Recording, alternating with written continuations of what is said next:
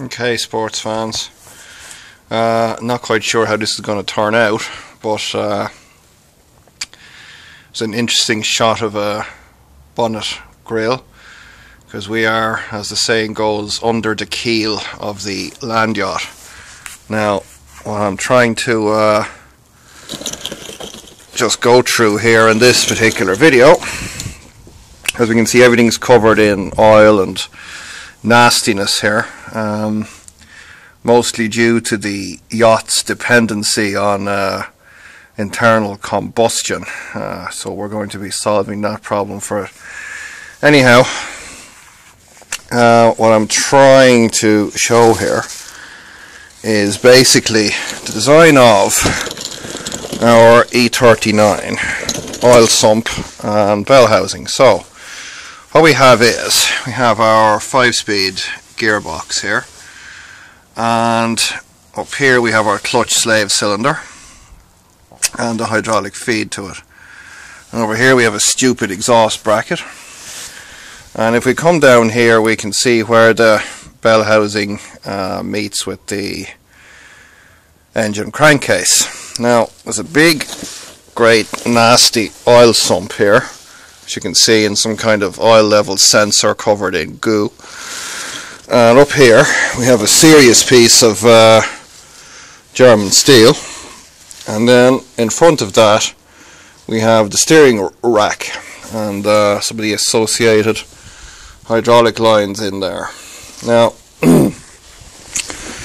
the distance from the my finger in there this front of the steering rack to the face of the bell housing is about 350 millimeters and the sump only goes back this far as far as our piece of cross member material here so our big motor goes from the bell housing interface here and it goes all the way up to 440 millimeters to the commutator end of the motor um, which kind of puts it somewhere just in front of the uh, steering rack here. So that gives us a potential problem that the motor is going to bang off the steering rack when we go to install our new drivetrain. Now I did a little bit of investigation on this on a previous day but had a chance this evening and uh, decided to put the old bow area into dry dock and uh, see just ju just get a better look at what's going on. So I'm going to traverse backwards over our gearbox. We have another moronic exhaust bracket. And we're going back here to the gearbox crossbeam. Now, if we have a look, these bolts, see they're actually slotted and I've removed one bolt from the crossbeam here. Now, we've also got another drill position here and I've just screwed that bolt into it just to ensure that it was the right fit which I think it is. Um, so we have another drilling in there. Should be able to see it just under the heat shield um, in the middle of the shot there now. So we've drillings on both sides uh, third drill hole basically on each side. Now as best as I could discern purpose of that extra drilling to allow this crossbeam uh, to move backwards this way so it can be bolted in on this bolt hole here and this bolt hole here as opposed to the two that it's uh, currently on. Now this picks me up well over 100 millimeters of backwards travel on my gearbox. So you might say to me, well, that's a great idea, Damien, but uh, what are you going to do about the drive shaft? So, uh, as we know, the E39 could be supplied in both a manual and automatic gearbox variant. And the um, automatic gearbox, I'm going to take a guess, fits on these uh, bolt connections here because it is a longer unit physically uh, than the manual. So, if I can extricate myself from under the yacht, Uh, and this wonderful creeper that I have picks up every bit of dirt on the planet. And if we go in here, oh, I'm too old for crawling under cars. Now, upon the rack here, hopefully see we have a drive shaft.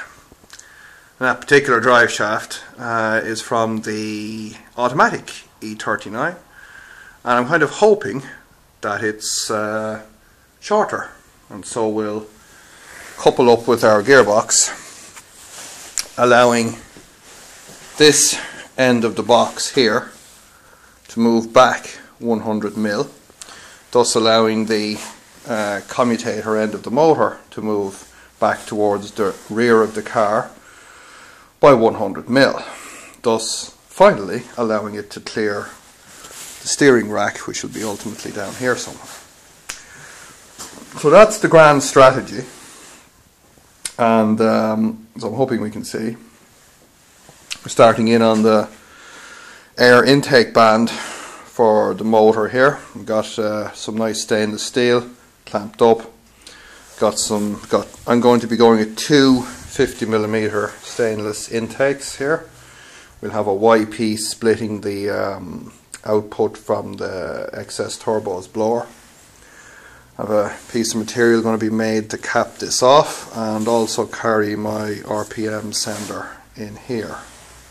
Got another band that I haven't quite finished. That's going to be uh, going around the drive end and it'll have outlets for to let the exhaust air back out.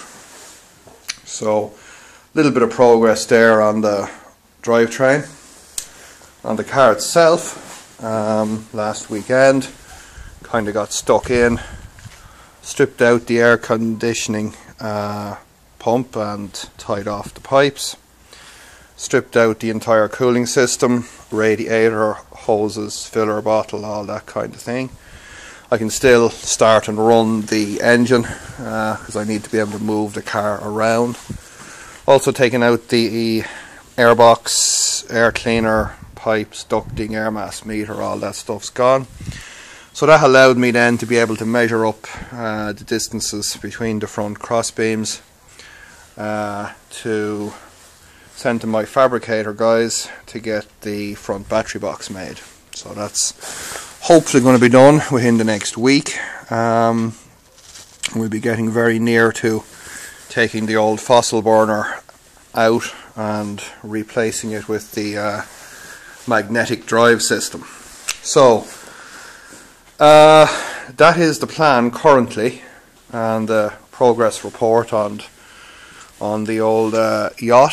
So uh, I think we're getting very close to the engine pull day. Um, got some more motor controller components coming in. Got some more Azure dynamic stuff uh, winging its way. It's amazing how much of that stuff seems to be flying around out there. So uh, I've managed to get a slice of some of the more mundane components which should help with the controller build. And uh, yeah, we can get this thing out and uh, that's the plan folks. So stay tuned.